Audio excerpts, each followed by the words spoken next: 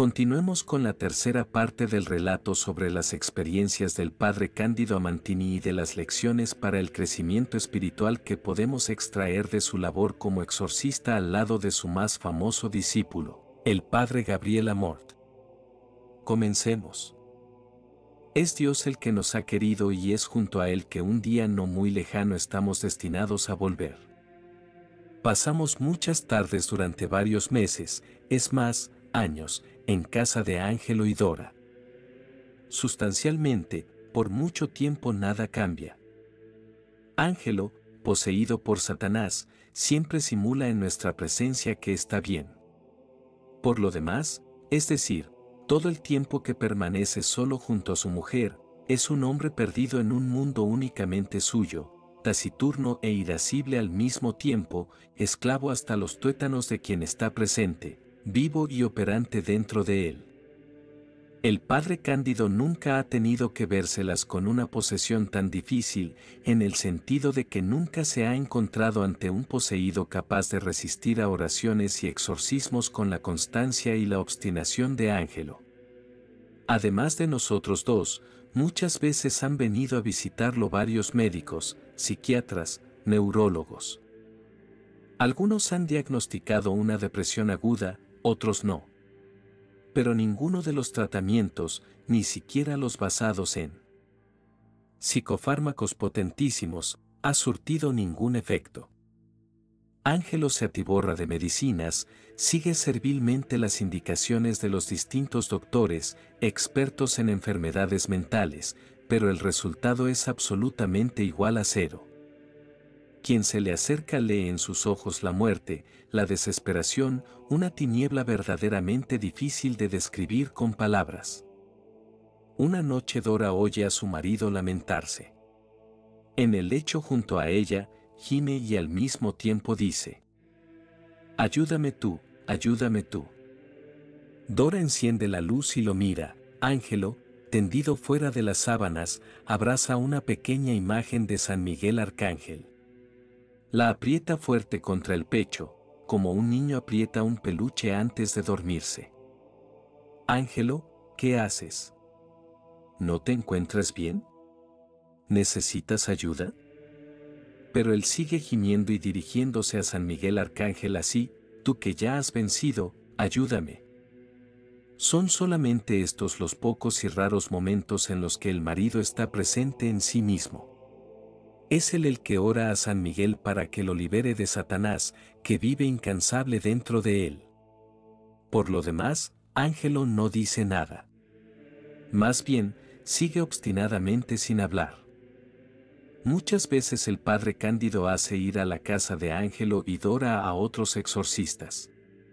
En efecto, sabe que si bien es verdad que todos los exorcistas son iguales, en el sentido de que la persona en el nombre de la cual obran es la misma para todos, es decir, Jesucristo. También es verdad que a veces un exorcista logra algo donde otro durante años no ha podido hacer nada. ¿Por qué? Es un misterio que solo Dios puede responder.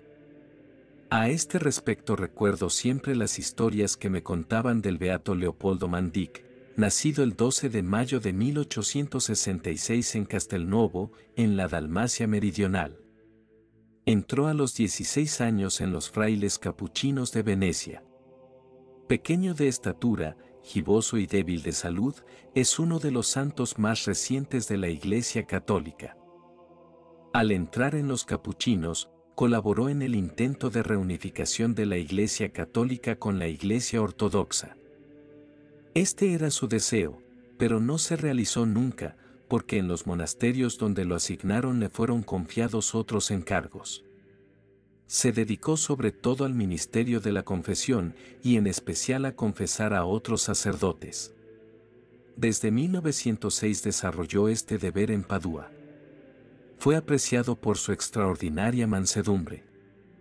Su salud se deterioró poco a poco, pero hasta cuando le fue posible no dejó de absolver en nombre de Dios y de dar palabras de ánimo a cuantos se le acercaban. Murió el 30 de julio de 1942. Su tumba, abierta después de 24 años, reveló el cuerpo completamente intacto.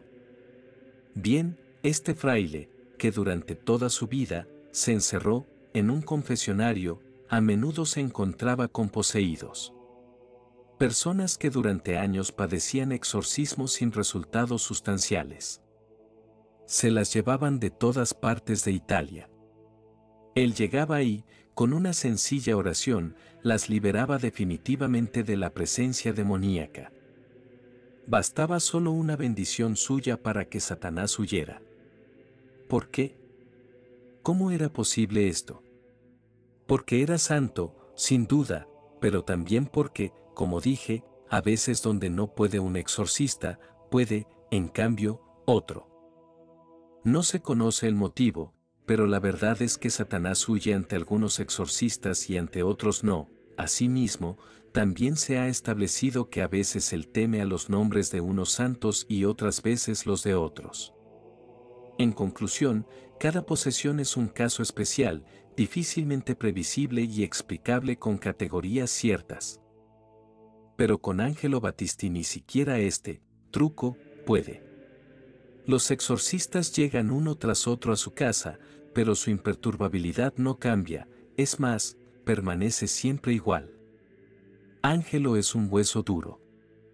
Ángelo es la imperturbabilidad por excelencia. Un día, sin embargo, sucede un hecho extraño. Ángelo se despierta y se siente mal. Tiene una hinchazón en el cuello, a la altura de la garganta. Es como una gruesa pelota que se ha formado de repente bajo la piel. Se asusta, cree que tiene una grave enfermedad, tal vez un tumor. También Dora se alarma. El padre Cándido es llamado inmediatamente y es una sabia decisión. Él, de hecho, tiene una intuición inesperada. Apreciado Ángelo, creo que te debes hacer unos buenos controles médicos, pero por el momento, ¿por qué no vas a eso a ver a Monseñor Ángelo Fantoni? ¿A quién? Ángelo Fantoni, dicen que tiene dones de curación notables. Vive en olor de santidad, quizá te pueda ayudar a resolver este pequeño problema. Y Ángelo, en lugar de encerrarse en sí mismo, increíblemente responde. ¿Por qué no?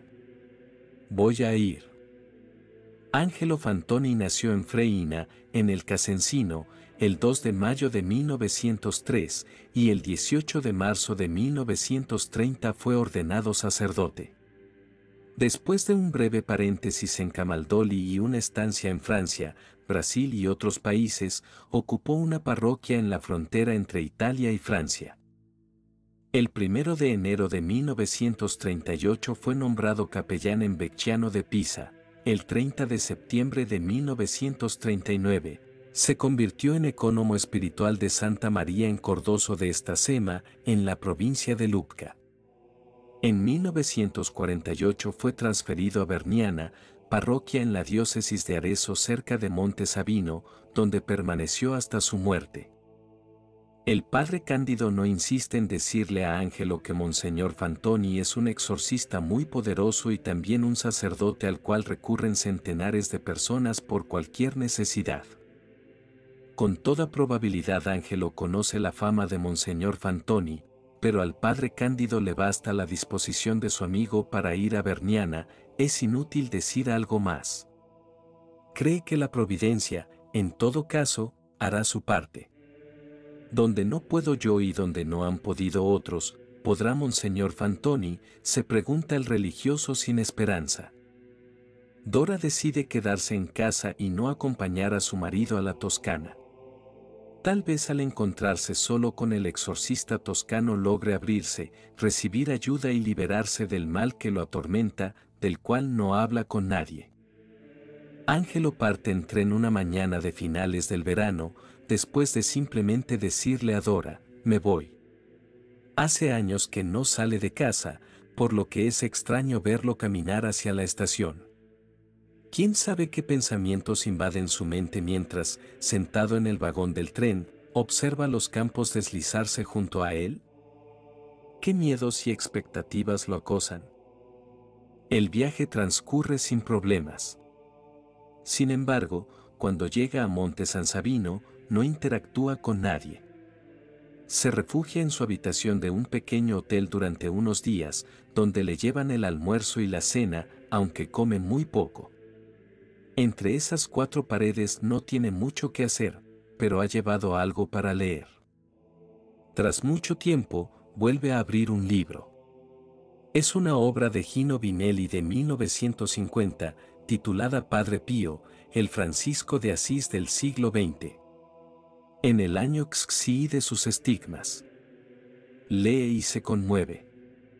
Los recuerdos de su antiguo amigo lo dejan sin aliento y lo hacen llorar. ¿Por qué, solo ahora, lejos de casa, decide abrir esas páginas? Lee y relee, deleitándose en los recuerdos y dejándose acunar por el silencio que lo rodea. Luego, de repente, una mañana, se viste y sale del hotel. La parroquia de Berniana no está lejos, y Ángelo camina sumergido en sus pensamientos. ¿Qué lo impulsa a buscar a Monseñor Fantoni? ¿De dónde saca la determinación inesperada para reunirse con el sacerdote? Es difícil responder. Tal vez sea el miedo a la enfermedad, la posibilidad de la muerte que ahora se ha vuelto real, o quién sabe qué. En la iglesia, le informan que Monseñor Fantoni no está, pero que debe estar por llegar. Ángelo sale y espera en el atrio. De repente, a lo lejos, divisa a un hombre anciano y delgado con un sombrero negro en la cabeza.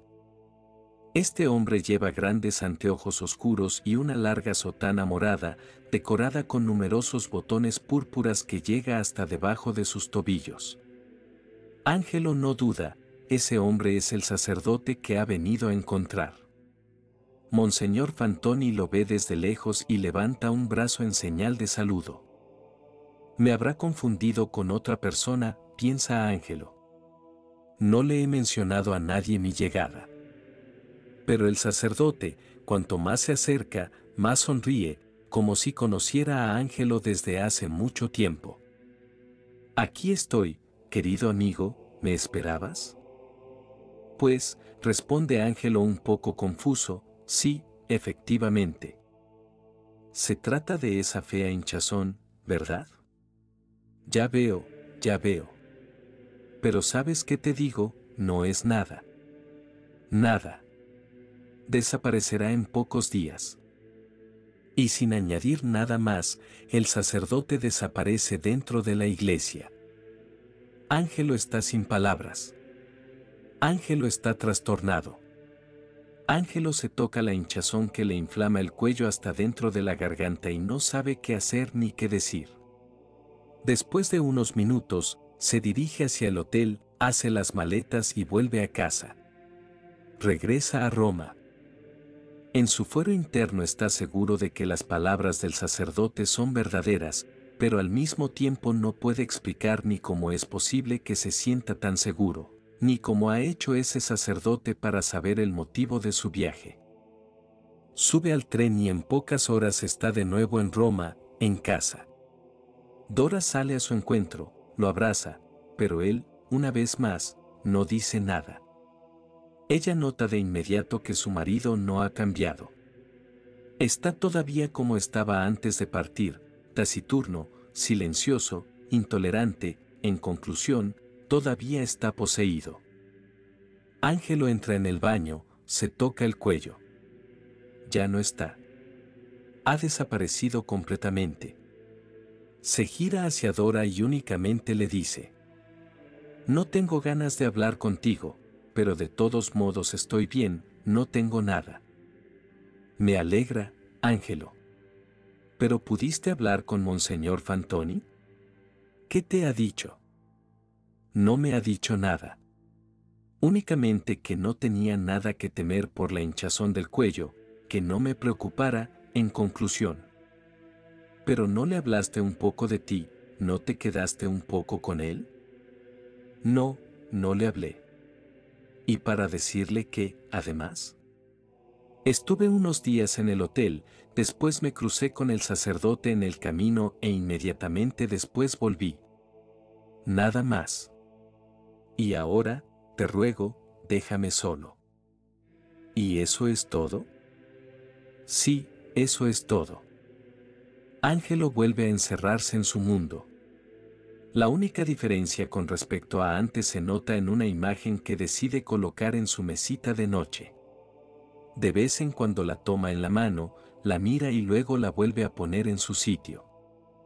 Se trata de una pequeña imagen que Ángelo encontró en la iglesia mientras preguntaba dónde se encontraba Monseñor Fantoni. Tiene escrita una oración dedicada a la Virgen de las Vertigue, un santuario cerca de Monte San Sabino. Originalmente, el santuario estaba adjunto a un priorato camaldulense construido en 1073. A mediados del siglo XV fue reconstruido englobando la capilla medieval, cuyo ábside, según la leyenda, fue trasladado desde el condado de Asiano alrededor del 1100 y se conserva en el altar mayor actual, donde guarda el fresco de la Virgen en Mandorla, objeto de devoción popular. Antes de la llegada de Monseñor Fantoni, Ángelo sintió un incontenible deseo de visitar el santuario donde se conserva la imagen. Sin embargo, después rechazó con no poca violencia interior ese deseo. De vez en cuando, Ángelo mira esta imagen, pero sería demasiado decir que ora. La mira y se deja mirar. No obstante, una cosa es innegable, Monte San Sabino, Monseñor Fantoni y la parroquia de Berniana le han dejado algo. Tal vez no sea más que una punta de alfiler en medio del gran mal que lo posee. Pero a veces es también a partir de una nada, de un alfiler precisamente, que se pueden vencer las grandes batallas. Pero precisamente después de su visita a Monseñor Fantoni, la situación en casa se precipita. La víctima de este nuevo empeoramiento del ambiente familiar es la pobre Dora. Pero el verdugo no es Ángelo, sino una presencia invisible, una presencia que Dora conoce bien porque es desde hace mucho tiempo la que habla a través de su marido. Tú me has mandado donde Monseñor Fantoni, ¿verdad? ¿Eres tú quien le ha dicho al padre Cándido que me propusiera esta excursión? Ahora verás lo que te sucederá. Yo no he hecho ni dicho nada. El padre Cándido hizo todo solo. ¿Quién eres tú para amenazarme de este modo? Pobre estúpida, ¿no has comprendido quién soy? Yo soy tu pesadilla. Yo soy el que acabará con este absurdo matrimonio. Yo soy el que te hará escapar para siempre y a paso rápido de esta casa. Llegará el momento en que Ángelo retome el control sobre sí mismo y tú desaparecerás para siempre. No te temo. Un día Dora se encuentra en la terraza. Riega las plantas, las flores. Apoyado en el muro hay un viejo pedazo de lata. Está ahí desde hace tiempo, bien enterrado en la tierra, es imposible que se mueva solo. Sin embargo, de repente, Dora lo ve venirse encima. Instintivamente se gira hacia la otra parte, la chapa le hiere la frente, pero gracias a su repentino movimiento, salva por pocos milímetros los ojos. Dora debe acudir a urgencias, hacerse poner algunos puntos y después volver a entrar en casa entre las risas de desprecio de su marido. Otra vez Dora está limpiando el rellano al resguardo de las escaleras. No hay nadie alrededor, pero en cierto momento siente un empujón por detrás que la arroja al suelo, haciéndola rodar por las escaleras. La lanza al suelo causándole distintos moratones, pero afortunadamente no se fractura nada. Y otra vez, en casa, una tarde de limpieza. Ahora es la biblioteca la que le cae encima de la nada. Una pequeña mesa puesta entre ella y la biblioteca amortigua por suerte el golpe, pero un gran chichón en la cabeza le acompañará por varios días. Sucede siempre así.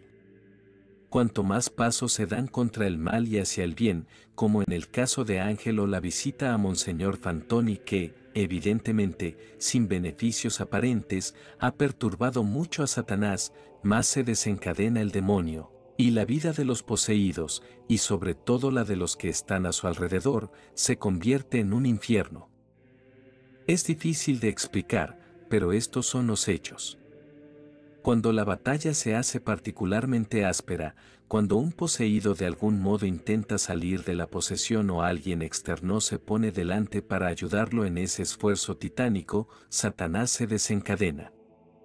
Y se pueden vivir días verdaderamente infernales, días de pasión pura. Son los días de terror que Ángelo hace vivir a su mujer desde su regreso de la excursión a la Toscana en adelante. Días de desesperación y de tinieblas sin fin. Para Dora son los días del Calvario. Han pasado ya seis años desde que Ángelo se jubiló. Seis años de infierno para Dora y también para él. Pero ahora, después de tanto tiempo, todo el asunto, en lugar de resolverse, se hace más difícil, más duro, en fin, la posesión asume una fisonomía dramática. Pronto Dora decide dormir en una habitación destinada a los huéspedes. Debe encerrarse dentro. En efecto, por la noche Ángelo, sobre todo de las 2 a las 3 de la mañana, está literalmente fuera de sí. Lanza todos los objetos que encuentra a mano por la casa. Destruye libros, cuadros, platos, vasos, todo. Si encuentra frente a sí a su mujer, le pega, incluso con violencia. En poco tiempo la casa de los dos cónyuges está irreconocible. Dora no puede poner freno a la furia destructiva de su marido y emplea muchos días en arreglar y reparar en parte los daños provocados por él. La gesta está desigual. Es como tener libre por la noche una pantera hambrienta. Voraz, feroz, nerviosa, sobresaltada de una habitación a la otra destruyendo todo. Y Dora, encerrada en la habitación de los huéspedes, de rodillas implora a Dios que haga algo, que intervenga, que le restituya aquella paz que desde hace tiempo le ha quitado. No hay un motivo aparente para justificar una posesión similar. ¿Por qué? No ha sido una misa negra, no ha sido ninguna acción voluntaria de ángel o lo que la ha provocado, no ha sido espiritismo, no han sido maleficios. ¿Y entonces cómo ha podido suceder? Tampoco el padre Cándido tiene respuestas. Pero de vez en cuando dice, puede ser que Dios haya decidido probar duramente a Ángelo para purificarlo hasta el fondo de su alma antes del encuentro definitivo con él o este sufrimiento ha sido permitido por Dios y a través de Ángelo y los sufrimientos de Dora muchas almas del purgatorio son liberadas y entran finalmente al paraíso en plena comunión con Dios. Todo es posible, el sufrimiento es siempre inexplicable, pero si se ofrece a Dios puede dar mucho fruto. Pero Ángelo no habla nunca de esta ofrenda, sufre y basta. No sabemos qué pensamientos hay en su corazón. El alma de los hombres es un misterio insondable. Y, en todo caso, toda esta triste historia queda como un misterio verdaderamente inexplicable. Una historia que se puede resolver solo con un giro violento. Sucede una mañana que el padre Cándido se presenta en casa de Ángelo y Dora sin avisar. Está decidido y resuelto, tiene algo en mente. Sabe que la situación no puede seguir así, en poco tiempo Ángelo llevaría a Dora a la muerte o moriría él mismo. Satanás, el gran destructor, está destrozando su amor, lo está lacerando desde dentro, decidido a dejar después de su paso solo un cúmulo de escombros. Los escombros del diablo. Las migajas del vínculo. El fin de todo, la división de todo. Soy el Padre Cándido, Dora, Abrame daba interior una voz de mujer. Padre, no sé si es oportuno. No lo esperaba. Dora, no se preocupe, debo hablar con Ángelo de inmediato. Pero padre, precisamente ahora. Sí, por favor, abra. La puerta se abre y una gran destrucción se presenta a los ojos del sacerdote exorcista. El padre Cándido nunca había entrado en esa casa por la mañana. Siempre por la tarde y por la noche después de que Dora había pasado horas organizando más o menos todas las cosas. Nunca había entrado, y el primer sentimiento que tiene ahora es de gran repulsión. Quisiera huir. Sus ojos están obligados a observar mucho dolor, mucha destrucción. El mal sabe ser un huracán a veces, y es increíble cómo, ante la potencia del huracán, el destino pareciera responder a una sola y pequeña mujer indefensa, Dora. El padre Cándido avanza entre los escombros. Dora se recuesta y llora. Las cortinas de las ventanas están rotas en mil pedazos, algunas incluso están quemadas. Ningún armario está en su sitio. Están todos caídos en el suelo. En la sala hay una enorme pila de libros.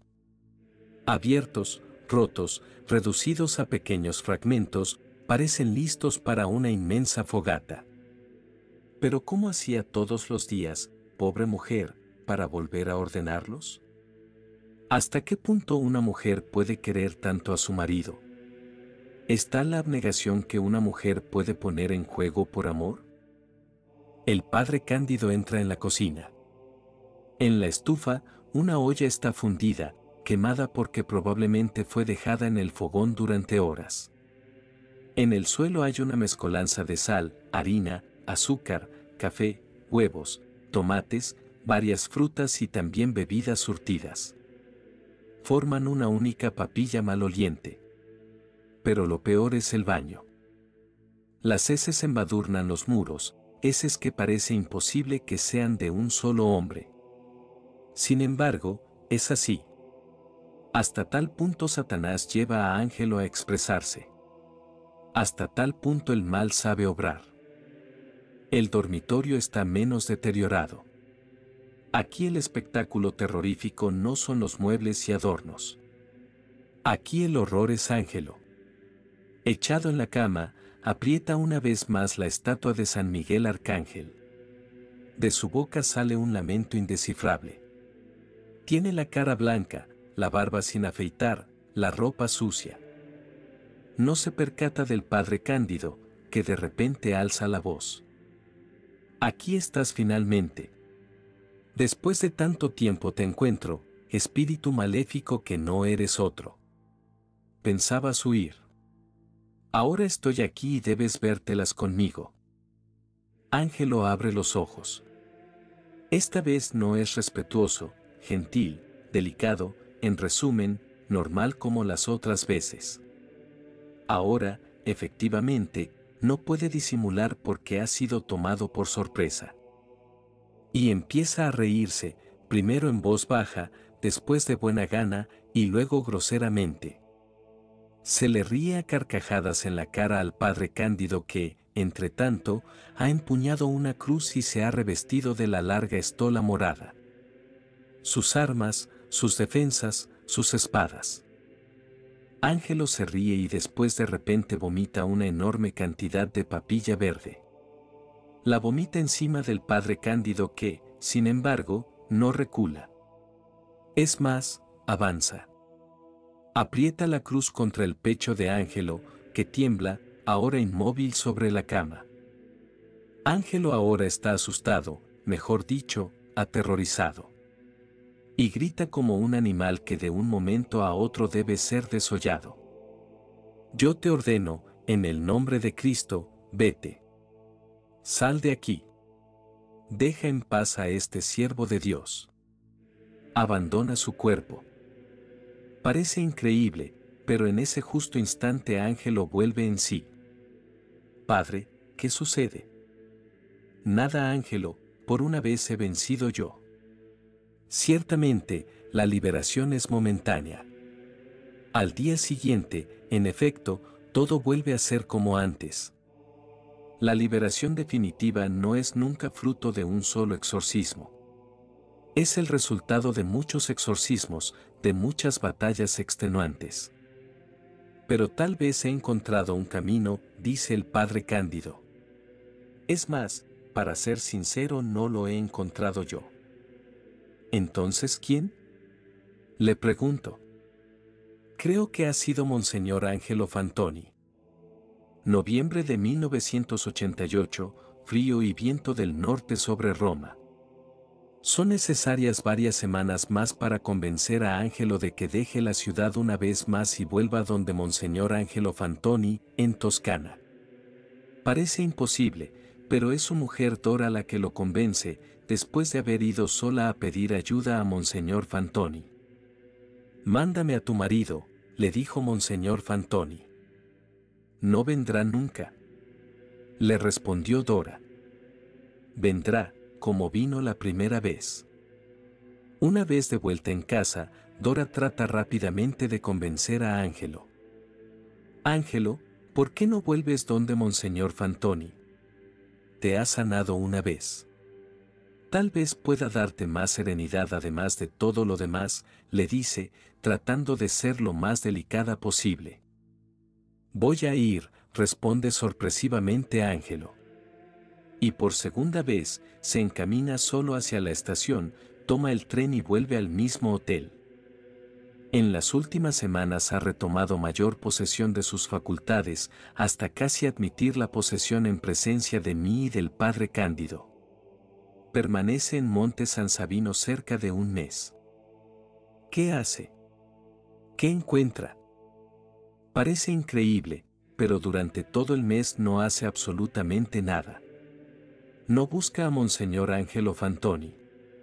En esencia permanece encerrado en el hotel todo el tiempo.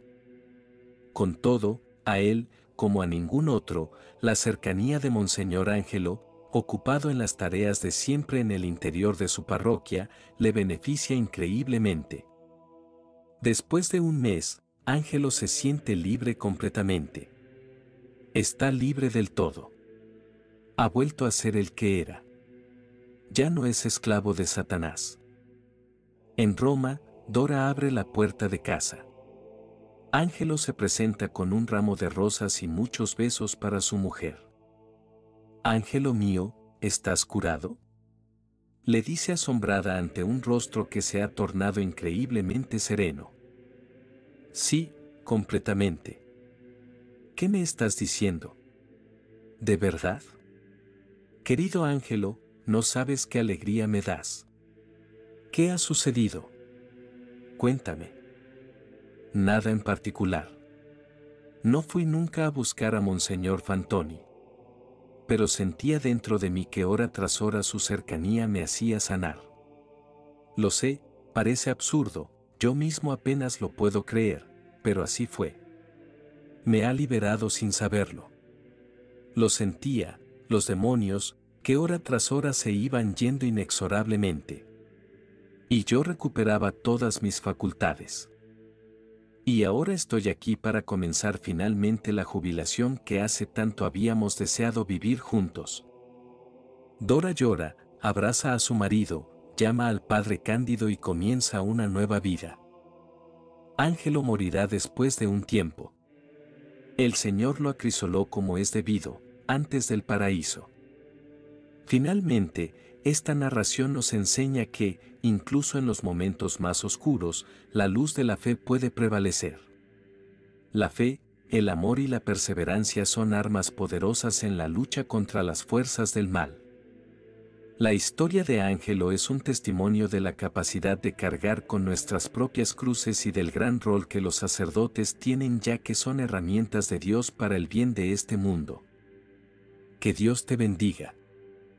Ambos, cada uno por su cuenta, pedimos a la Virgen que venga en nuestra ayuda. También esta es una enseñanza que he aprendido del Padre Cándido, contra ciertas potencias, contra ciertos espíritus, la Virgen es vencedora desde siempre. Y es importante invocarla antes de un exorcismo. Basta un pestañeo suyo para cerrar las puertas del mal. Invocarla, sobre todo con el rosario, como ya he dicho, significa saber ya que la batalla será ganada. Subimos a pie las escaleras de la casa de los Batisti. Tocamos y nos encontramos de frente a una escena que de verdad nunca habríamos imaginado presenciar. Al abrir la puerta hay un hombre, vestido con chaqueta y corbata, afeitado y perfumado, bien peinado. Nos acoge con una sonrisa seráfica y nos dice con voz aguda, Padre Cándido? Padre Gabriel. Bienvenidos, Punto. Ese hombre no es un extraño. Ese hombre es Ángelo Battisti. ¿Es acaso posible? Dora había dicho que estaba mal. ¿Es posible que nos haya mentido? La escena es surrealista. Dora, detrás de Ángelo, hace un gesto como para decir, no sé cómo puede ser posible, punto. Ella, tomando la palabra, de algún modo trata de explicar, hace un rato le dije a Ángelo que vendrían.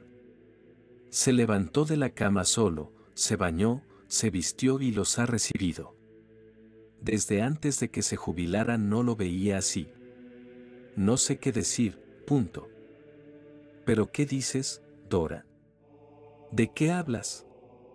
La interrumpe Ángelo, sorprendido. Ah, amigos míos, las mujeres, son así, ven cosas que nadie ve más que ellas. Ellos mismos no entienden lo que les sucedía, el significado de lo que Dios les mostraba estaba velado. Ángelo, amor mío, hace tres meses que no hablas. ¿Te has dado cuenta, o no? Y se levantó, y al instante tomó su camilla y se fue a su casa. Guión bajo Dora, no entiendo. ¿Qué estás diciendo? ¿Tres meses que no hablo? Tal vez estás un poco cansada. Pero él les dijo, oh generación incrédula y perversa. ¿Hasta cuándo estaré con vosotros y os soportaré? Trae acá a tu hijo, punto. El padre Cándido decide intervenir. Hace gestos a Dora para que no diga nada más y nos acomodamos en la sala de estar. Entonces, querido Ángelo, pregunta, ¿qué nos cuentas? ¿Cómo va tu jubilación? Tengo que decir, apreciado Padre Cándido, que me siento bien. Cierto, ahora paso mucho más tiempo en casa que antes. Es verdad, al comienzo no fue fácil, pero ahora me siento realmente bien.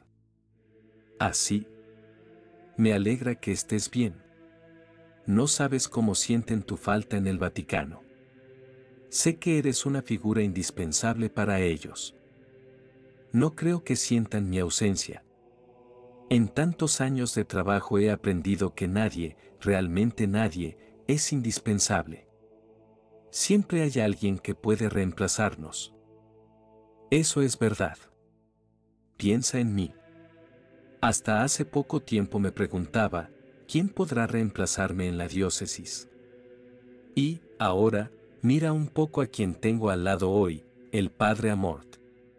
Sé que sabrá hacerlo mejor que yo, estoy seguro de eso.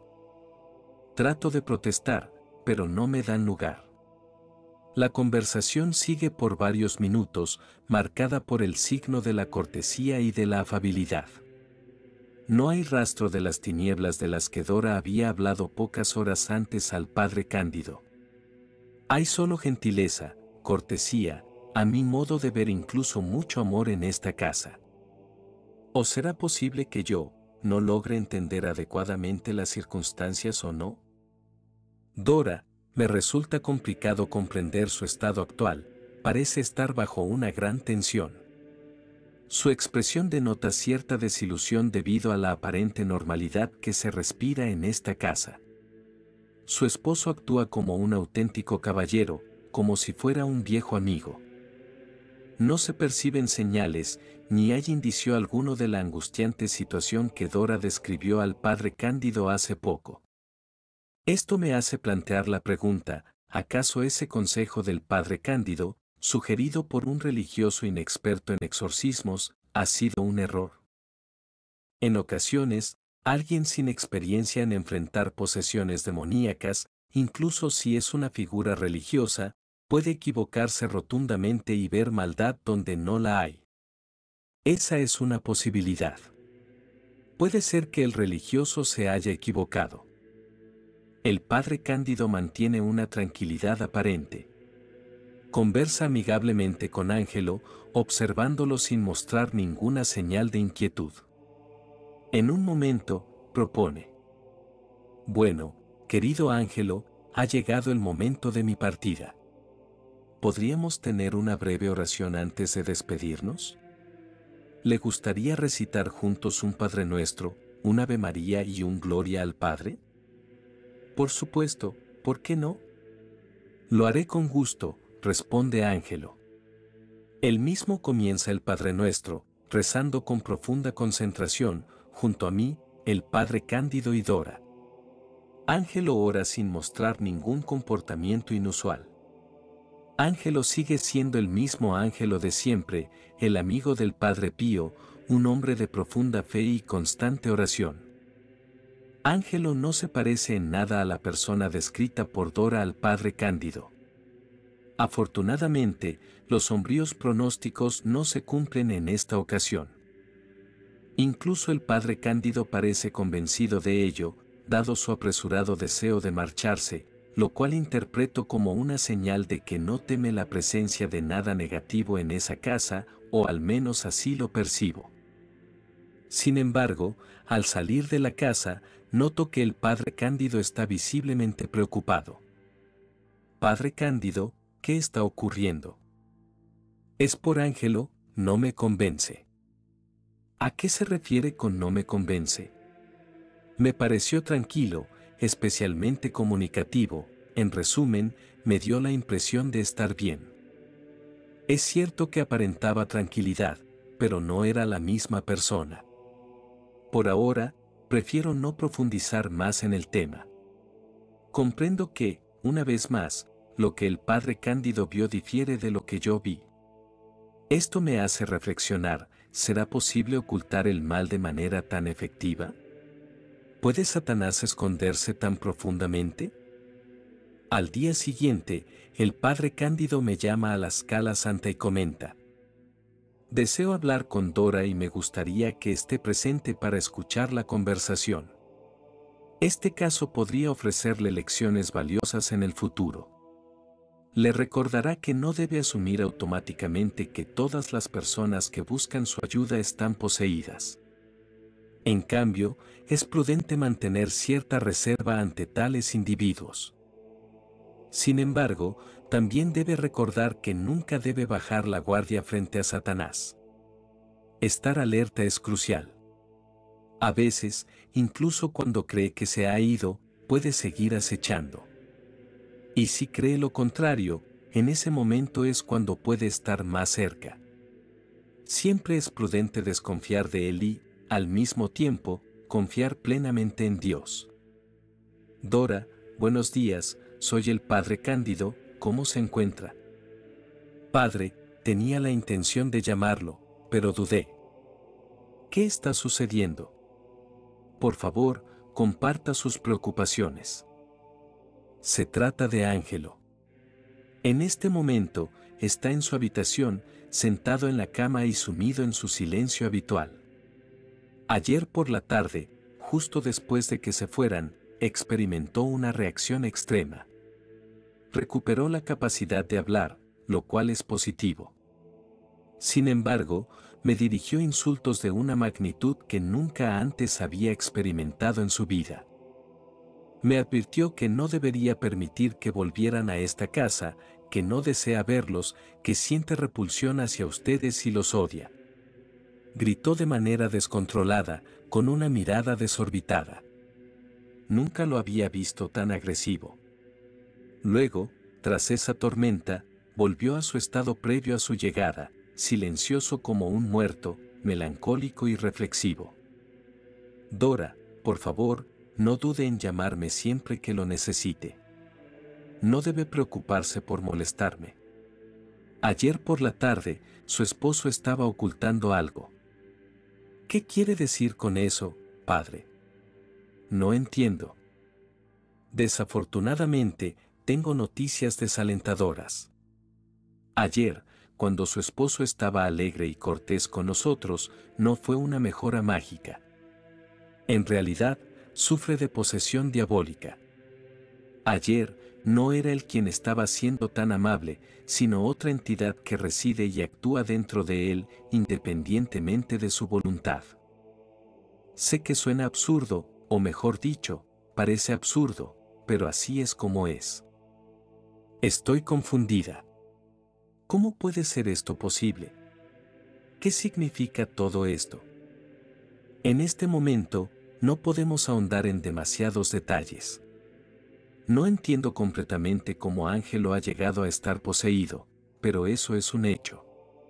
Creo que debemos planear algunos días en los que el Padre Amort y yo podamos visitarlo. Realizaremos oraciones junto a él y por él. Mientras tanto, usted debe intentar comunicarse con él y motivarlo. Es fundamental que el ángelo que conocemos recupere gradualmente el control sobre sí mismo. Él debe luchar y esforzarse por expulsar el mal que lo ha invadido. Si su voluntad no se pone en acción, la tarea será ardua. Cuando el espíritu que posee a una persona puede hacer que simule un comportamiento como el de ayer por la tarde, eso indica una posesión intensa, arraigada. Sin embargo, una parte de él todavía está consciente. Debe permitir que esa parte emerja y luche contra el mal. Dora permanece en silencio durante unos momentos.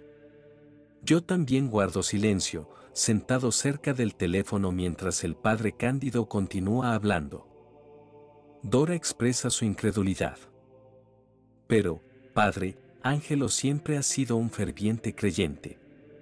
Iba a misa a diario, rezaba, se confesaba, ¿cómo es posible que esto haya ocurrido? No podemos dar una explicación sencilla a esto. Es una situación difícil de comprender. Satanás no puede entrar en aquellos que están en gracia de Dios. A menos que Dios lo permita con un propósito específico, relacionado con la santidad de la persona. Pero entienda que estoy explorando ideas que no debería. En cualquier caso, lo importante ahora es la acción le insto a que hable con Ángelo con sensibilidad. En los próximos días, volveremos a visitarlo. Quizás podríamos organizar una cena en una ocasión para evitar despertar sospechas sobre nuestra verdadera intención, que, digamos, está relacionada con el exorcismo. El padre Cándido baja el auricular y pronuncia una rápida bendición por teléfono, como si intentara extenderla hasta la casa de los Batistí. Me mira seriamente y comenta, estoy preocupado por Ángelo. Incluso el Padre Pío, su amigo, sufrió ataques del demonio, pero nunca una posesión. Esto es diferente. ¿Cómo puede ser? ¿Es posible que Dios permita esto? Y si es así, ¿por qué? ¿Cuánto sufrimiento existe en el mundo si permite que uno de sus hijos pase por algo así? Si Ángelo está poseído, ¿significa que nadie está a salvo? No, querido Padre Amort. Aquellos que viven en gracia de Dios no deben temer. Esto es un caso singular y misterioso. Dios tiene evidentemente un plan que solo aplicará a unos pocos escogidos, a los elegidos, en mi opinión. ¿Qué plan es ese? No lo sé pero si este sufrimiento se ofrece para la gloria de Dios, podría tener el poder de salvar innumerables almas. El mal es un enigma indescifrable. Es una perversión terrible el hecho de que pueda atrapar a tantos seres humanos. Sin embargo, lamentablemente, es una realidad. Con demasiada frecuencia, el ser humano, incluso cuando tiene el bien al alcance, elige de manera voluntaria el mal. ¿Por qué? No tengo una explicación y dudo que alguien pueda proporcionarla. ¿Por qué Satanás se rebeló contra Dios? Es un misterio insondable relacionado con la libertad, un don valioso otorgado por Dios, pero que, si se utiliza de manera incorrecta, se convierte en un arma de doble filo. En cualquier caso, en términos generales, se puede afirmar que a menudo permitimos que el mal entre en nuestras vidas de manera gradual, casi imperceptible. Pero incluso una pequeña fisura abierta permite que el mal entre de manera más poderosa sin que lo notemos, y pronto esa fisura se convierte en una puerta abierta de par en par. El diablo siempre recurre a esta estrategia. Por ejemplo, divide a las parejas al hacer que uno de los cónyuges se aleje del otro de manera progresiva. puede comenzar con un enamoramiento por una tercera persona.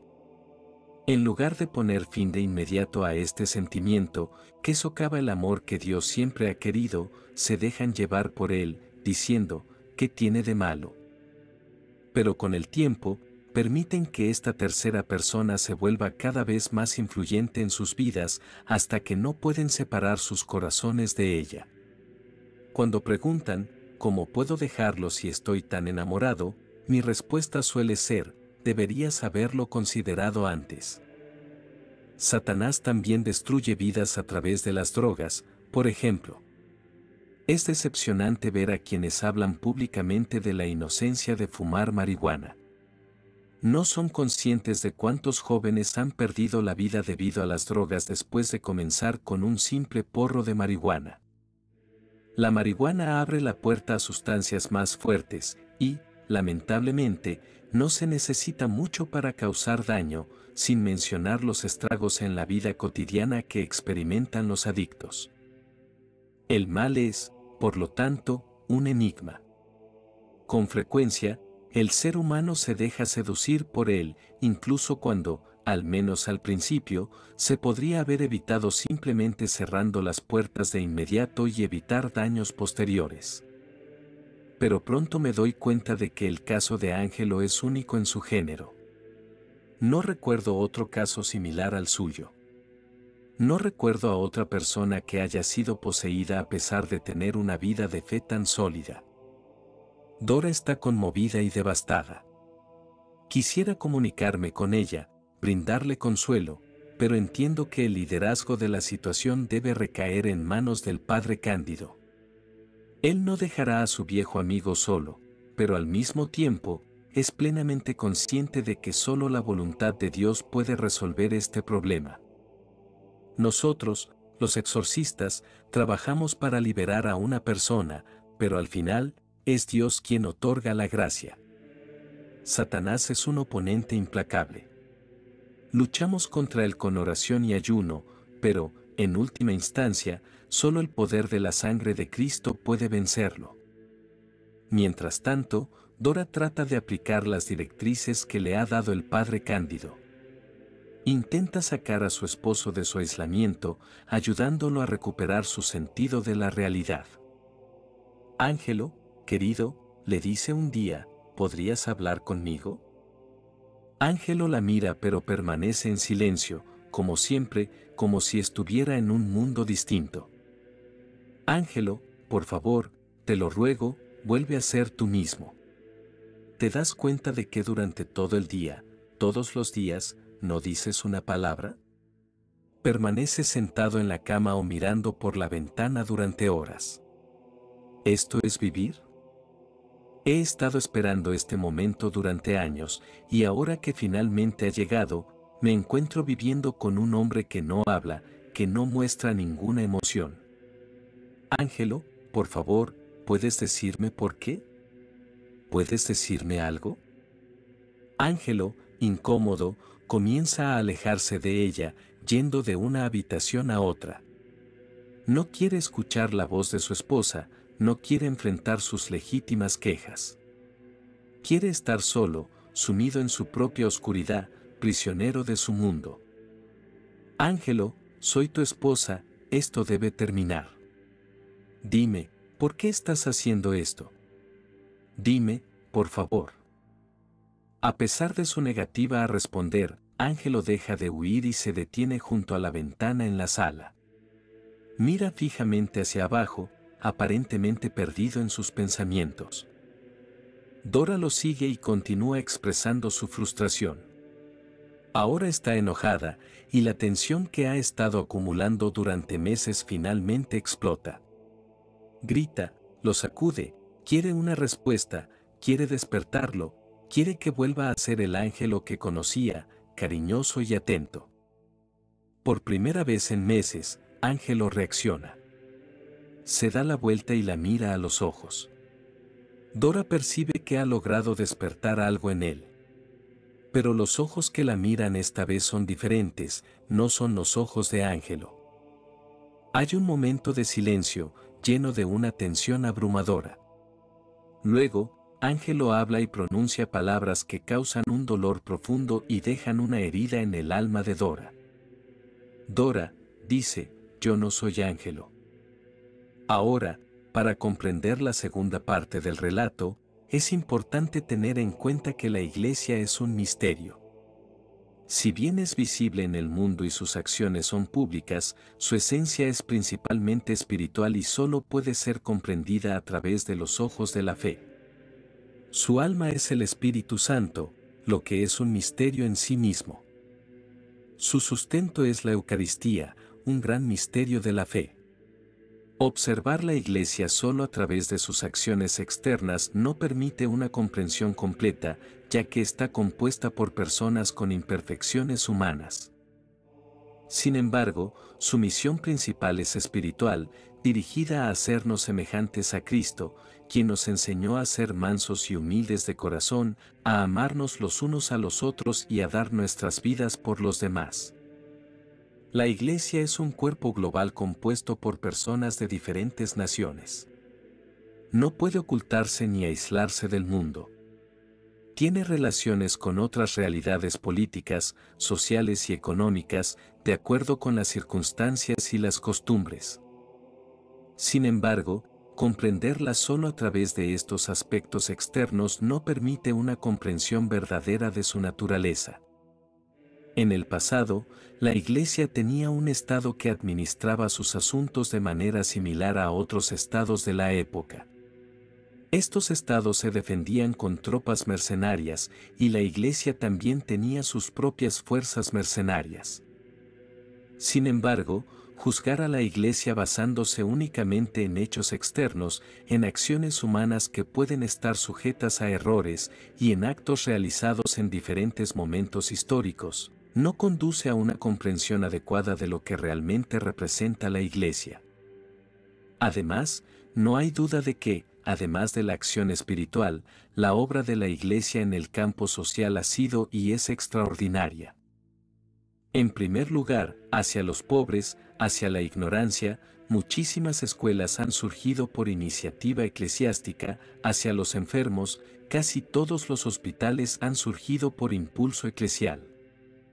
Hacia la cultura, literaturas enteras como la grecorromana han llegado a nosotros porque han sido salvadas por los monjes y sus extraordinarias bibliotecas, hacia el arte, que hay comparable con las grandes catedrales, la pintura, las esculturas, los mosaicos de tema religioso.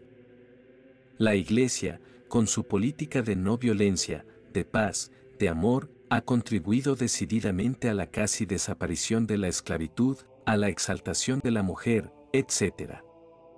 Porque no cabe duda de que un fundamento del cristianismo es afirmar que somos hijos de Dios y debemos convivir, ayudarnos, amarnos como hermanos y hermanas. ¿Qué puede haber más revolucionario? ¿Cuál ha sido el método gracias al cual la Iglesia se ha extendido, se ha difundido en el mundo? Pensemos en las últimas enseñanzas dadas por Jesús a los apóstoles. Escribe Lucas, capítulo 24, Así está escrito que el Cristo padecerá y resucitará de entre los muertos al tercer día y se predicará en su nombre la conversión para perdón de los pecados a todas las naciones, empezando desde Jerusalén. Vosotros sois testigos de estas cosas. Mirad, yo voy a enviar sobre vosotros la promesa de mi Padre. Vosotros, por vuestra parte, permaneced en la ciudad hasta que seáis revestidos de poder desde lo alto. Así pues, el primer deber de los apóstoles es ser testigos de la resurrección de Cristo, pues ella es el fundamento sobre el cual se basa nuestra victoria sobre la muerte y el acceso al cielo. No se va al paraíso si no es con el alma limpia de toda culpa, por lo cual es necesario el perdón de los pecados. Jesús ha dado este poder a los apóstoles diciéndoles, a quienes les perdonéis los pecados, les serán perdonados y a quienes no se los perdonéis, no les serán perdonados. Y el Evangelio de Marcos dice, Jesús les dijo, Ide por todo el mundo y predicad el Evangelio a toda criatura. Quien crea y sea bautizado será redimido, pero quien no crea será condenado. Aquí es muy claro el mandamiento de Jesús de predicar el Evangelio. La consecuencia de esto es, en primer lugar, el bautismo que perdona el pecado original, que da la gracia santificante, es decir, hace partícipes de la naturaleza divina e incorpórea de Cristo y de la Iglesia. Al quitar el pecado original, Cristo nos libera del poder del maligno y nos da la libertad propia de los hijos de Dios. Gracias a Jesús nos convertimos en hijos de Dios. Basta con aceptar el bautismo, el sacramento que nos hace tales. Cuán insensato es, entonces, derogar la partida de bautismo argumentando que es una imposición injusta. No es imposición, sino un acto de amor. Los padres, al bautizar a sus hijos, buscan darles lo mejor.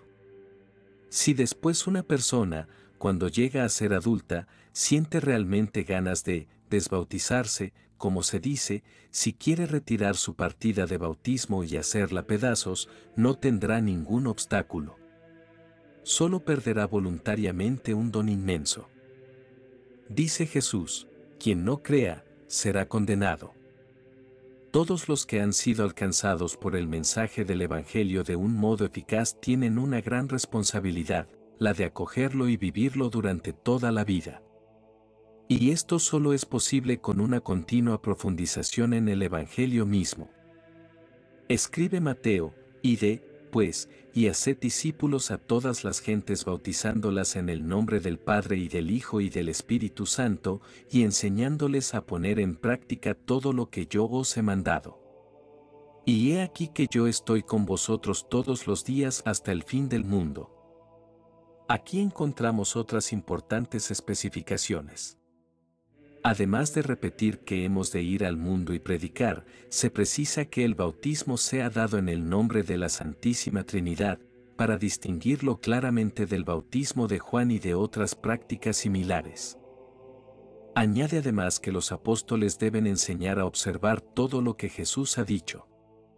Es decir, que el bautismo es un comienzo que nos hace cristianos, pero después es necesario vivir como cristianos siguiendo los ejemplos y las enseñanzas de Cristo.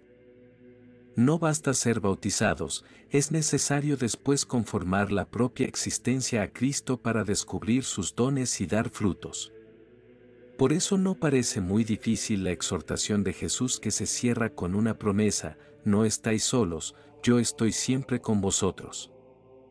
Me he detenido en estas últimas disposiciones de Jesús porque nos dan el sentido más profundo de lo que es la Iglesia V de lo que deben hacer los cristianos, todos los cristianos, sacerdotes y laicos, para ser tales. El cristianismo es por naturaleza misionero, ha de ser predicado a todo el mundo. Los cristianos son, en efecto, los que con su vida de testimonio hacen comprender que es posible y fácil vivir como Jesús quiere. Este es el secreto que los cristianos enseñan.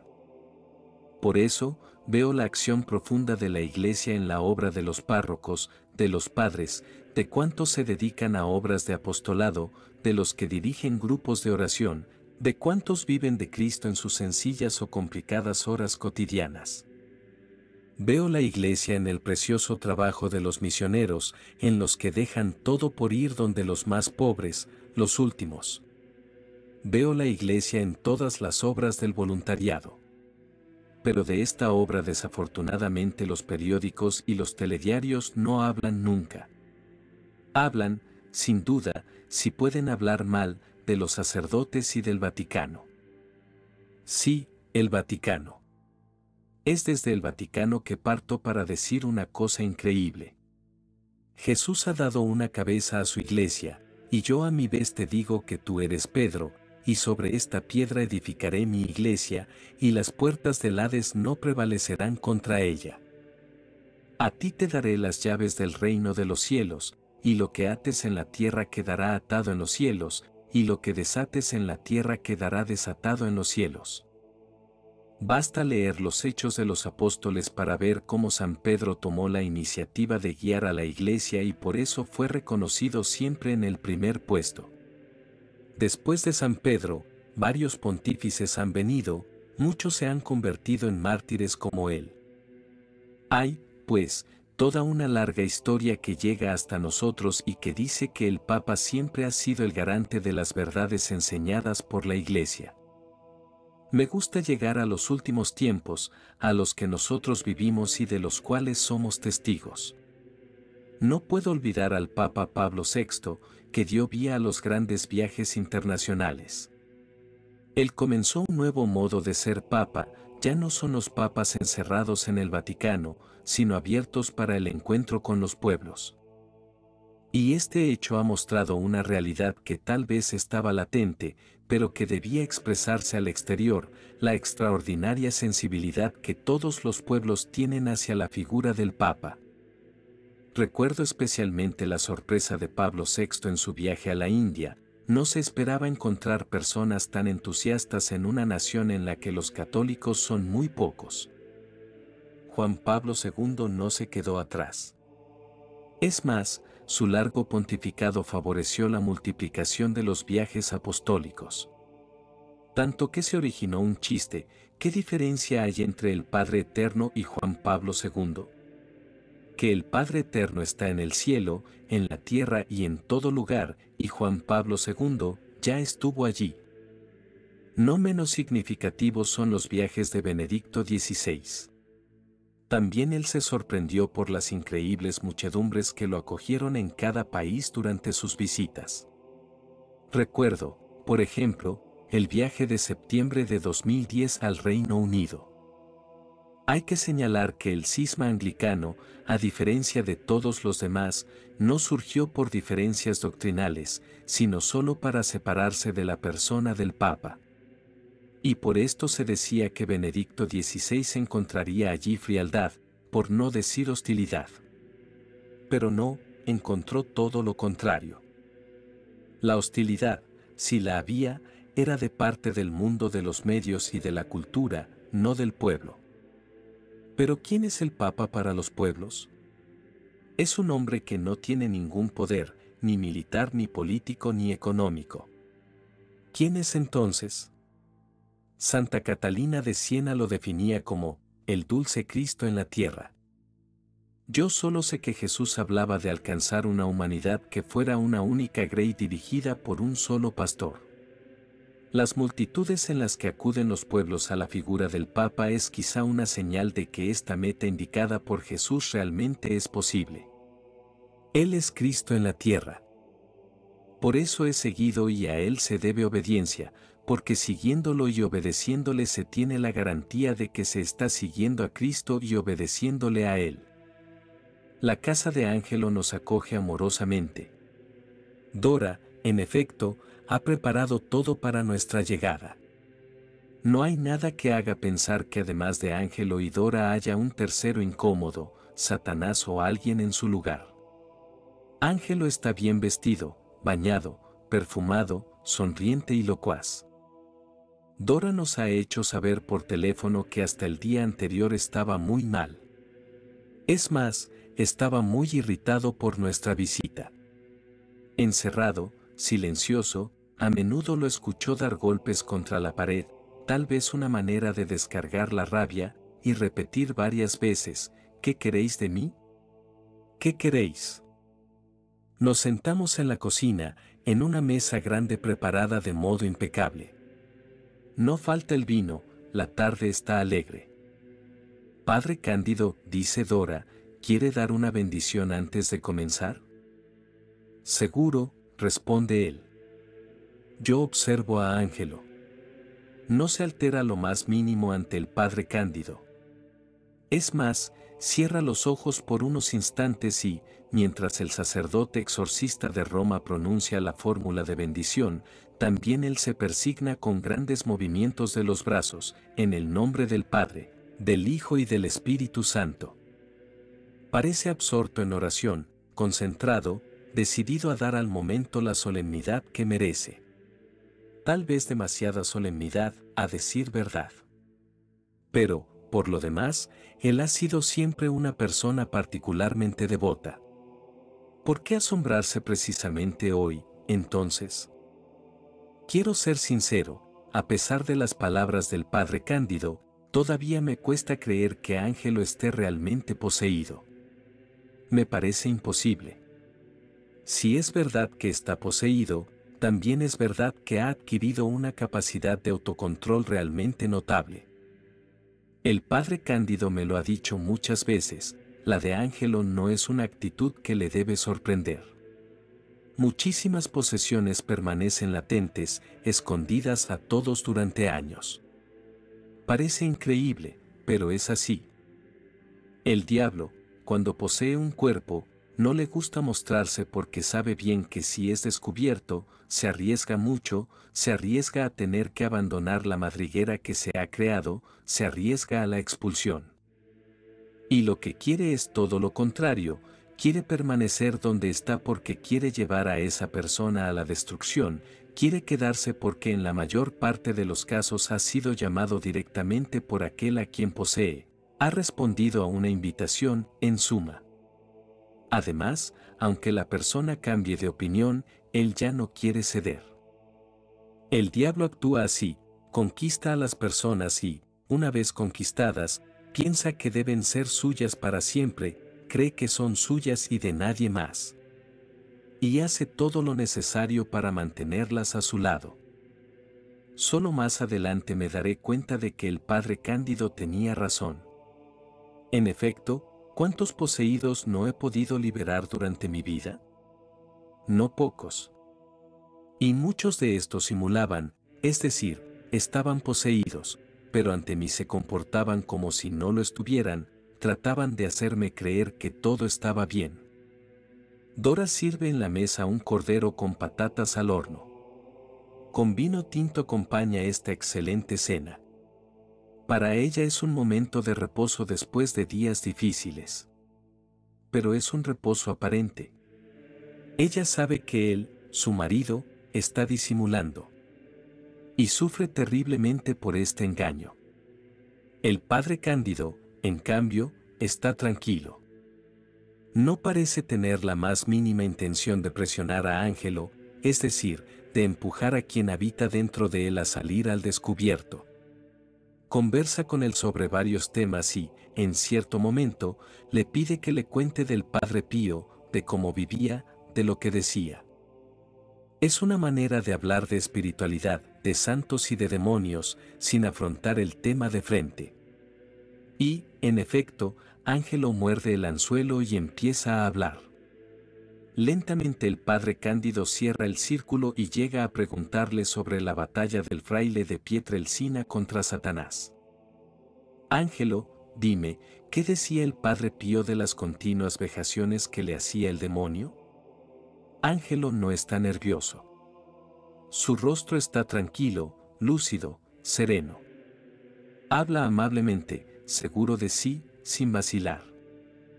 Oh, sufría mucho pero no se preocupaba. Decía que los ataques, las violentas palizas que recibía durante la noche, los golpes que sufría, le servían para crecer en humildad. Cierto, no es fácil vivir en estrecho contacto con ciertas presencias. No, no lo es, creo también yo. Pero en realidad él no le prestaba demasiada atención.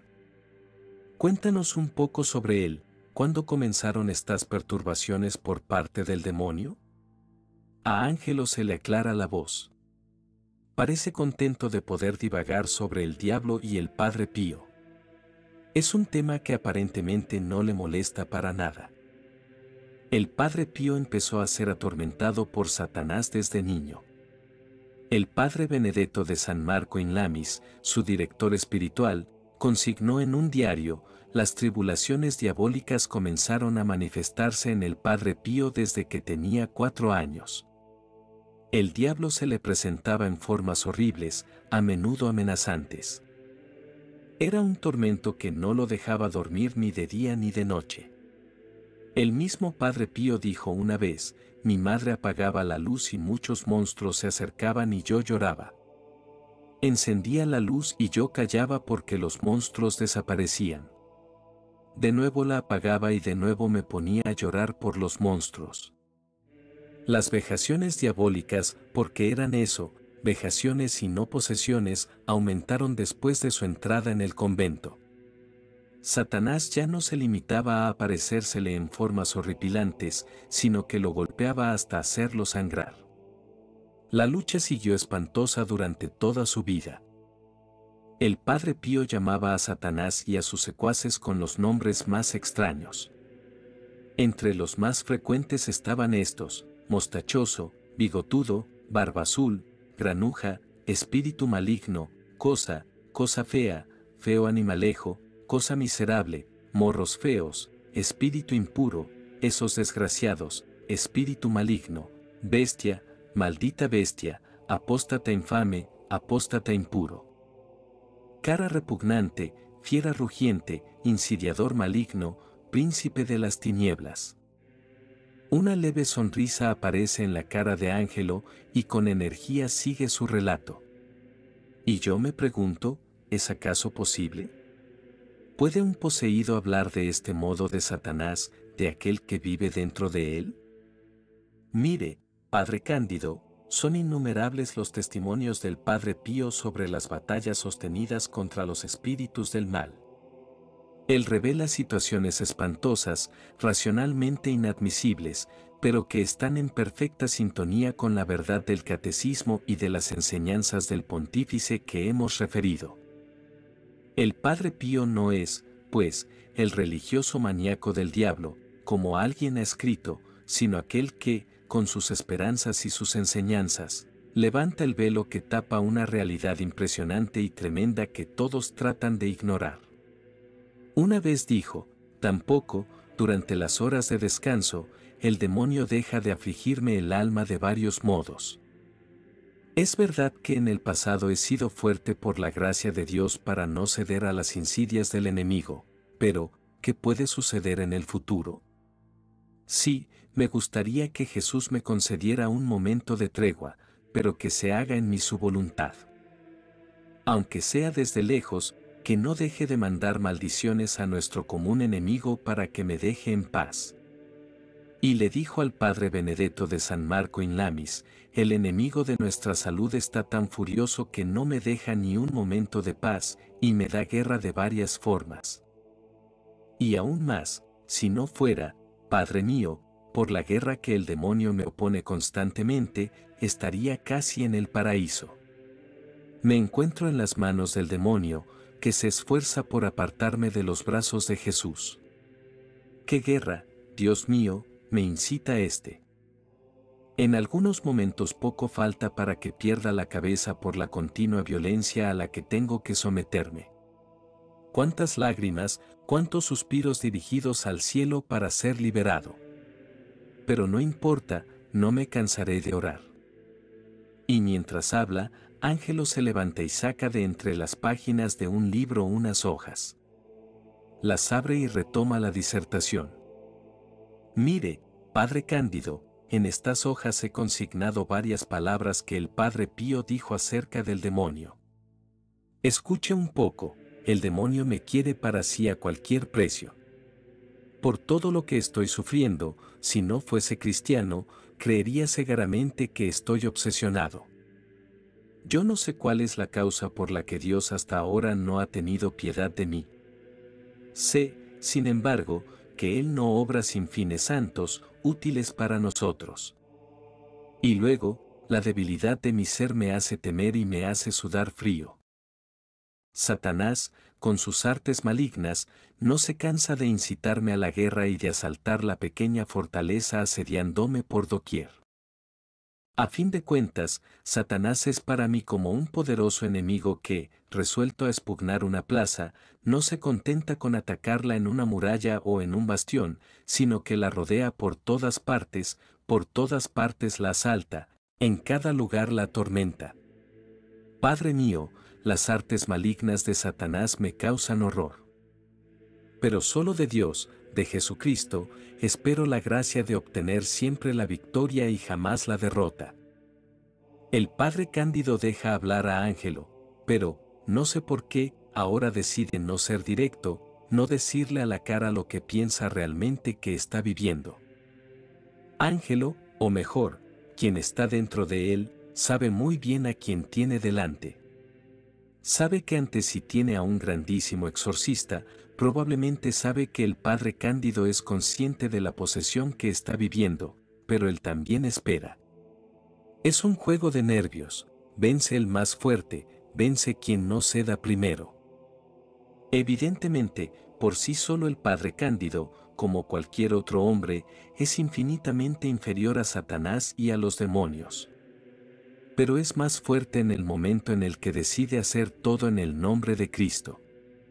Si se obra en el nombre de Cristo, no se debe temer a nada ni a nadie. Cristo vence, Cristo reina, Cristo tiene la supremacía. Piensa en un momento si todos fuéramos conscientes de que Cristo vive y vive junto a nosotros. Cristo, el Hijo de Dios.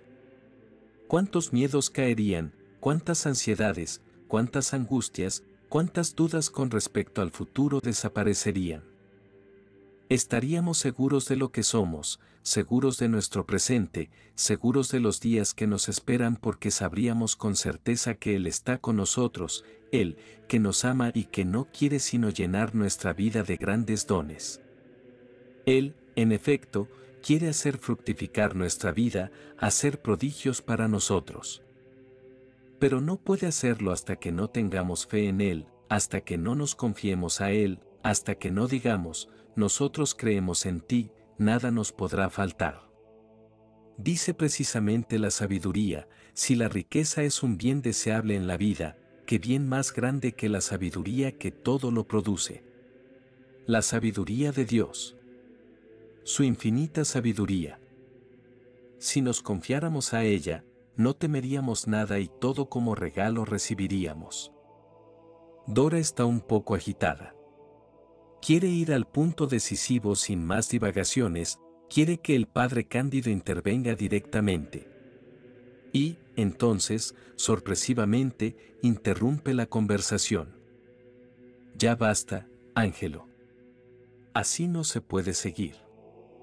Adelante, explica, ¿por qué te comportas de este modo? En la habitación reina el silencio.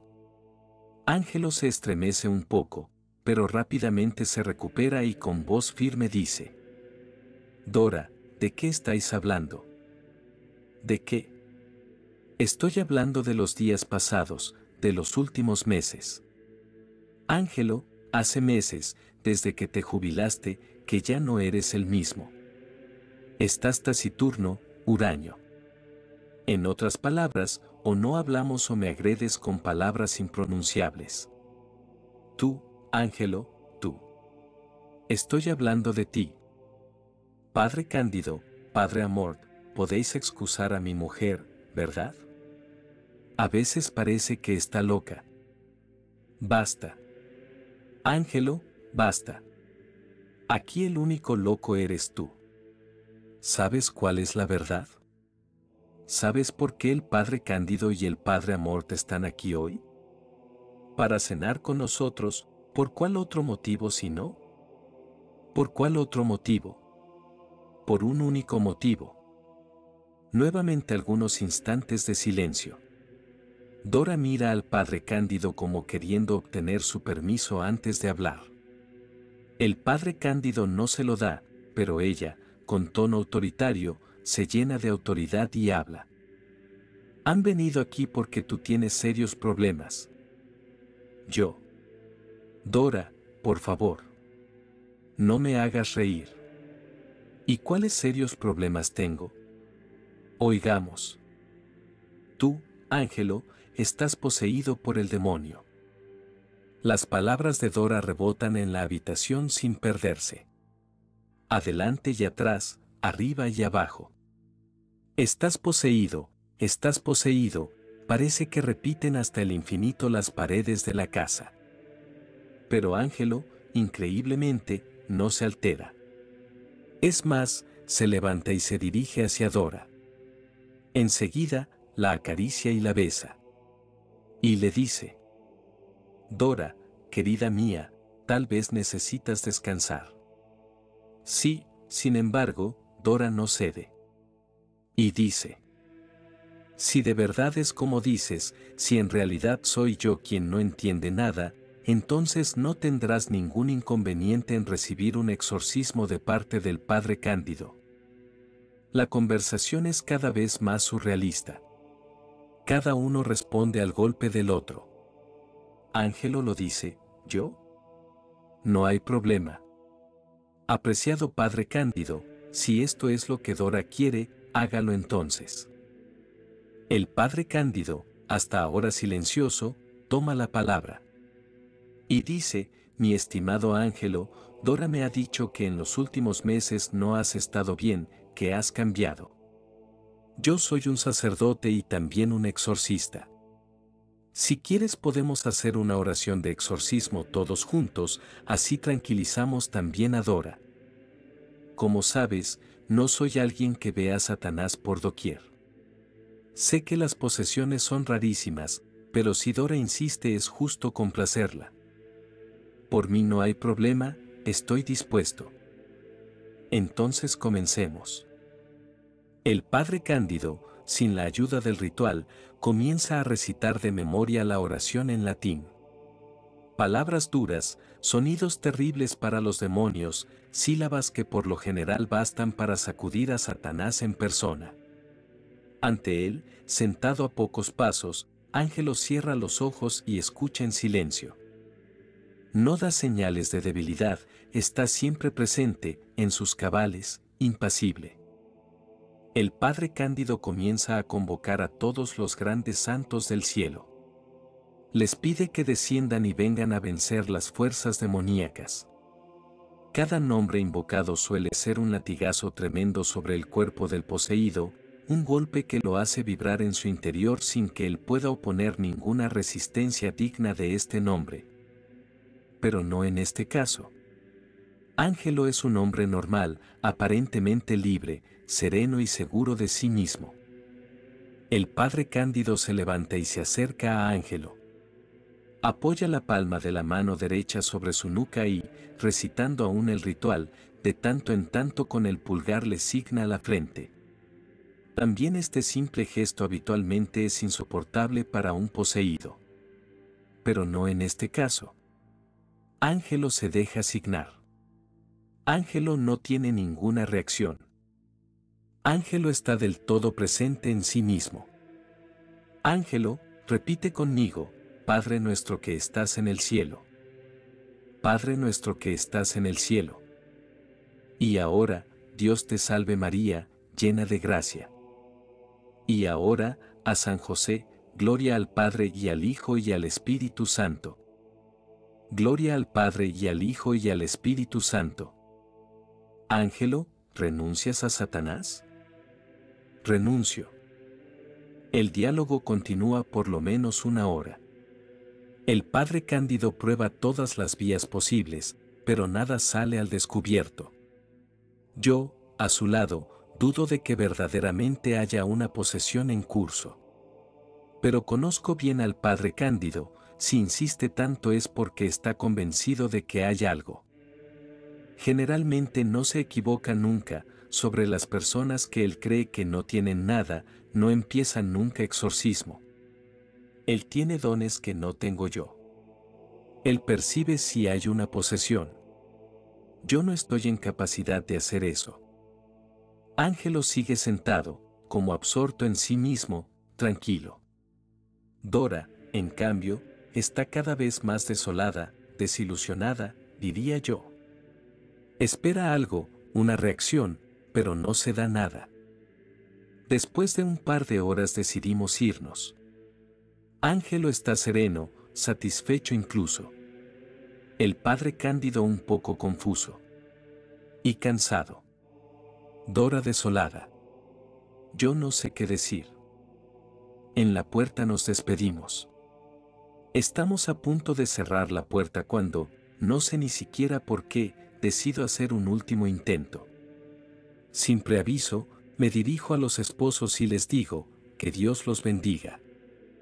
Y les imparto una rápida bendición. Ninguno de los dos se lo esperaba, Ángelo no lo esperaba. Sin embargo, no pasa nada, solo que veo, imperceptible pero real, una gota de sudor que brilla en la frente del hombre y baja velozmente por su mejilla. Y después desaparece. Salimos y aún en las escaleras alcanzo al padre Cándido. De por sí, este asunto de la gota de sudor no significa nada, pero es un hecho que me golpea y me impresiona por algún tiempo. Le cuento al padre Cándido, pero él no hace ningún comentario. Entonces le pregunto, ¿qué decir? ¿Quién tiene razón? Él o Dora.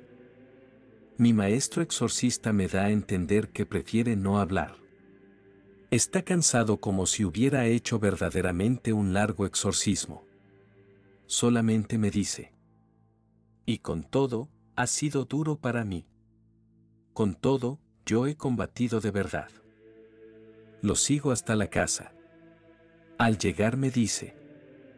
Apreciado Padre Amor, yo voy a la capilla. Necesito orar. Decido seguirlo.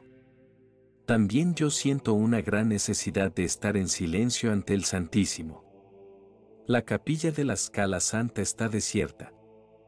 Ya es de noche, está cerrada y nadie puede acceder a ella. El padre Cándido se arrodilla y entra en su diálogo con Dios.